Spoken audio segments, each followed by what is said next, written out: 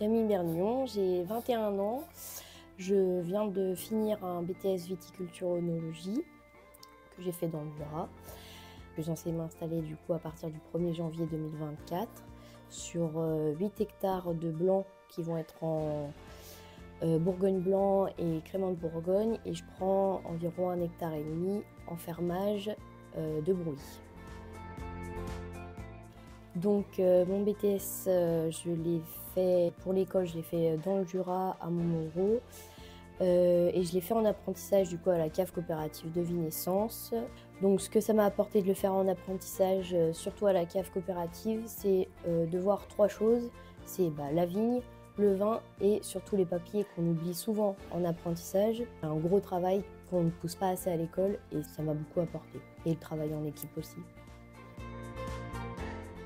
Donc euh, les vignes que j'ai en blanc, c'est des vignes euh, qui sont en bio, donc euh, en 2 mètres. Et comme c'est des vignes larges et hautes, c'est en mécanisant que ça me permet de les faire en bio.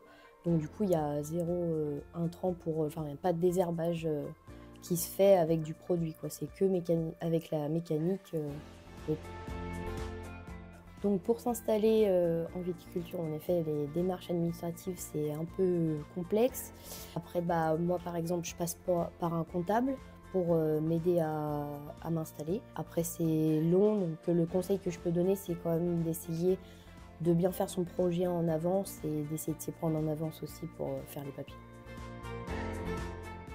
Donc moi j'ai choisi la cave coopérative parce que comme déjà j'ai fait mon apprentissage là-bas, j'ai bien vu que c'était vraiment une grosse aide pour les vignerons. Moi ce qui m'attire d'être dans la cave coop au début c'est euh, bah, la vinification et le commerce. Je m'en occupe pas et comme ça je peux d'abord bien m'installer dans les vignes. Je pense que la cave coopérative quand on est jeune euh, viticulteur, c'est quelque chose de très bien.